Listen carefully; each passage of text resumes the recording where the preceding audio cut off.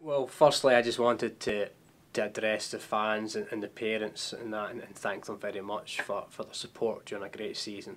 There's no doubt it's been a record-breaking season for us, uh, the best yet, and we're obviously bitterly disappointed we didn't make the NCAA tournament. Um, you know, I, I don't understand why we weren't selected, and, and hopefully in time the NCAA will will reach out to us and give us reasons why, so that obviously it's something I've done as a coach that I can improve, and, and hopefully we can we can learn from them lessons and and uh, move on because I definitely think this team deserved to be in there uh, this year. You know, uh, what a lot of people didn't know is when I came here to interview five years ago, I, I explained that it was our goal to be in the NCAA tournament by our fourth year. And I felt we deserved that this year, and I felt we had a good shout. And unfortunately, it just wasn't to be.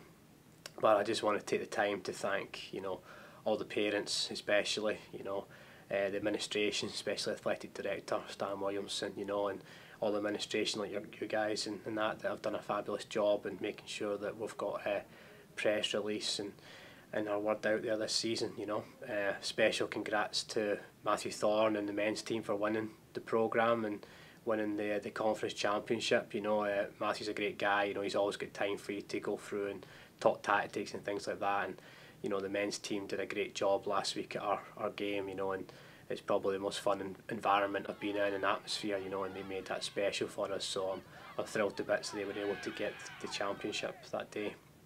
Um, season wise, you know, as I said, I think we were we only lost one game away from home. Uh, we lost two games at home, and I thought we proved consistent enough to, to have a realistic shout to, to be in the tournament. You know, uh, obviously you know, it just wasn't to be, but I don't think that should overshadow what we've achieved this year. You know, I think the girls have been phenomenal from day one. You know, they they put in some exceptional performances. You know, to to beat uh, CBU twice. You know, a team that's going to the tournament, and uh, what we just got to do is try and fight on. You know, one thing I've always been is a determined person and determined to prove people wrong and you know, I think we need to now use this motivation and, and try and get justice for the, the six girls that are leaving us, you know, and I think in future years if we can we can fight for their justice and, and hopefully make the NCAA tournament next year, I think that'll be a, a fitting uh, send off for, for everybody involved.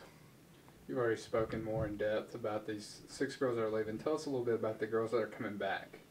Uh, tell us a little bit about the, the team and, and what fans can look forward to next season. Yeah, well, it was very hard yesterday. It was very emotional, you know. We were, we were all distraught, you know, when when you work extremely hard like we do from day one, you know, and as I said, it was a five year plan for myself, but it was also, you know, like four years of these girls that had worked hard, you know, seven of them being there from the start, obviously, six of them will leave us this year, you know, but, you know, we ask for exceptional standards from everyone, you know, my coaching staff, as I said, you know, uh, Matthew helps a lot in the goalkeeping side and, and helps a lot with the tactics, but, but Coach Lau has been phenomenal and, and helped us out tremendously. You know, and, and having these people here that, that just want to work hard every day and, and get you to the next level, this is what we need at West Island. You know, we will.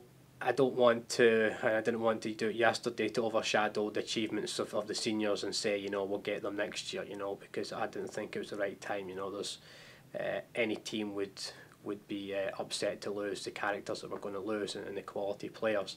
But as I said, I think what we've got to just do is, is be determined and, and fight for their justice because, you know, West Alabama needs to be a team that's challenging every year for the NCAAs, you know, and if we keep challenging every year, they can't knock us back every year, that's for sure.